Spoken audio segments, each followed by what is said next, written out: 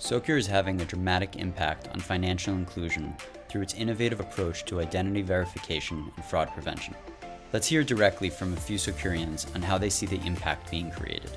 Featuring Veena Hirannaiah, I'm a Senior Director of Fraud Products at Socure. Ali Haddad, I'm a Senior Director of like, Data Science at uh, Socure. Sam Jackson, uh, I manage our platforms business unit, and, and I'm actually within uh, product management. Pita Gadag. I'm a product manager here at Socure.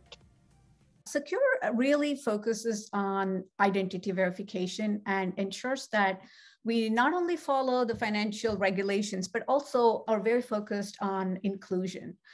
Talking about inclusiveness, Socure has been like really leading with respect to in- inclusion. What do we mean by that? So basically, it means that we able to accept more people from a different like uh, uh, protected, protected classes. So, for example, providing loans to African American communities or Hispanics or immigrants where they have a thin file. Socure really focuses to try and ensure that we are able to clearly verify these identities with minimal effort and then also make sure that they get accesses to services. Maybe you're an immigrant who's new to the country, or, or maybe you're pretty young and you've never had credit before or, or maybe you've been trying to repair your credit perhaps after having your identity stolen. And Socure has an almost entirely friction-free, easy, instantaneous uh, tool that, that makes it easier for uh, consumers to access services that are essential to their life. And it allows them to do it in a way that's safe and, and low impact and, and convenient.